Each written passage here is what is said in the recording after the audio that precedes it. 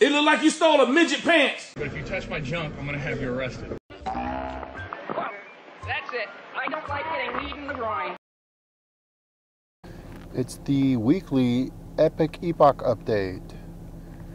A rundown of this week's four articles that I published. First one to get to is another in the series called Abortion's Arguments. And this tracks several of the arguments that people make in order to make them feel better about supporting abortion. Of course, these are all psychological band aids. And um, one way you can know that is that if you take the arguments we're considering and you try to apply them to anything else, say a baby that is uh, one inch outside of the womb or one minute outside of the womb, then it no longer works. Of course, people are seeking to change that as well.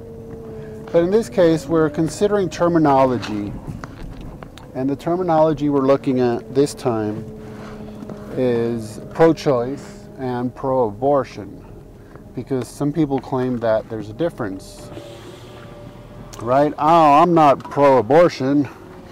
No, no, I'm not. I'm merely pro choice and the choice can include life, so therefore I'm pro life.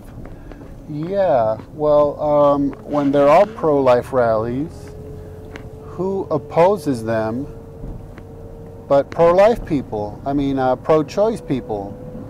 So, you know, it's another band aid, it's another, oh, you know, I believe it's wrong, but I can't tell anyone else what to do. Oh, that's funny. I believe murder is wrong, but I can't tell anyone else what to do you know, it's these things that just don't don't work anywhere, uh, except within these narrow parameters of making yourself feel better about supporting one of the most immoral things you could possibly imagine, or rather, I should say, unethical.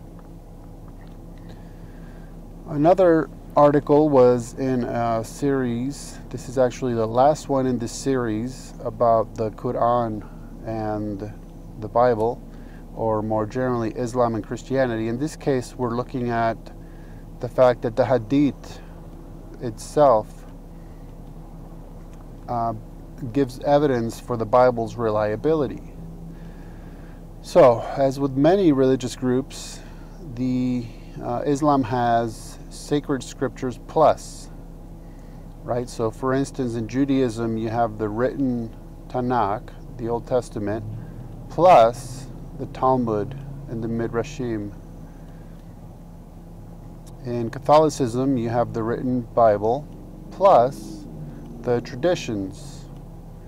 And likewise in Islam, you have the written Quran plus the Hadith, which are the doings and sayings of Muhammad. And there are hundreds upon hundreds upon hundreds of Hadith. There's various collections of Hadith. And uh, so in this case, we're looking at the fact that even uh, Islamic traditions affirm that the Bible is a reliable text. And of course, what we've been driving at all along is the old Islamic conundrum, which is that if Islam is true, that is, if the Quran and the Hadith are accurate in their statements about the Bible, then the Bible is accurate. And if the Bible is accurate, then the Quran, the Hadith, and therefore Islam is not legitimate. Because the Bible contradicts that which Islam stands for. So, uh, in other words, this whole series has been about providing evidence, the quotations and citations that you can use when you're discussing such topics. Another article is on near death experiences, and it's just really based on an article I ran across.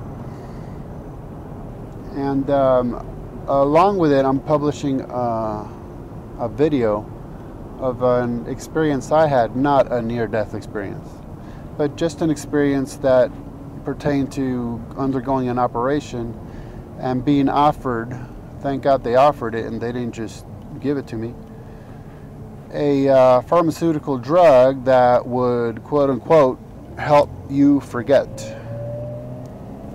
uh, which I refused to take, and I had to refuse firmly three times, by the way. and they got me thinking, as is noted by a medical professional within the article that I quoted, that um, you know you would wonder if a lot more people would have these near-death experiences if it wasn't for the fact that they're being pumped full of drugs that help you forget. So uh, check out the uh, article and the video that goes along with it because there's you know some food for thought there. Uh, like I said in the video, I'm not exactly prepared to proclaim it a conspiracy theory, but it's you know it's right in that range, shall we say. Lastly, it's an article about yet another scandal pertaining to an artist playing off of the idea of Our Lady of Guadalupe, which is uh, a concept based on an apparition in the 1500s where supposedly Mary appeared to Juan Diego and told him to build a sanctuary to her. Okay, first thing Juan Diego should have said is, The Lord rebuke you, Satan. Who are you that we should build a sanctuary to you? I mean, that's one way right there that you know it's not really Mary.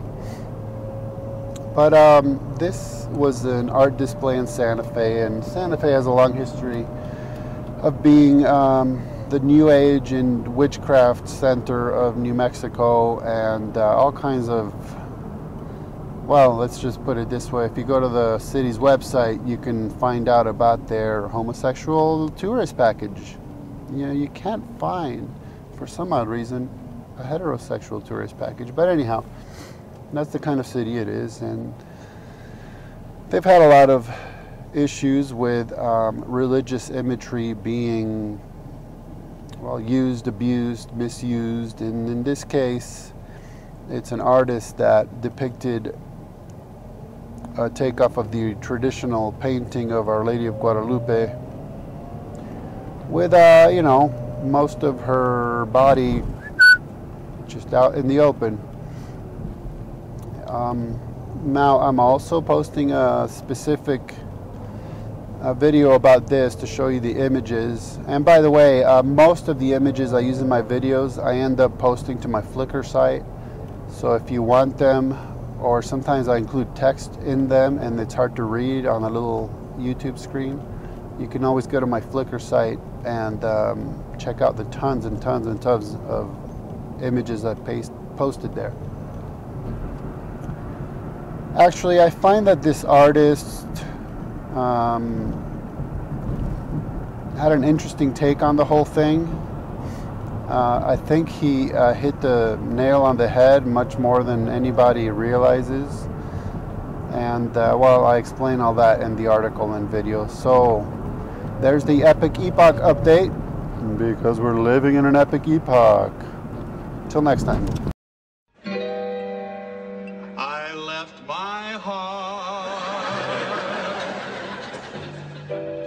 In San Francisco.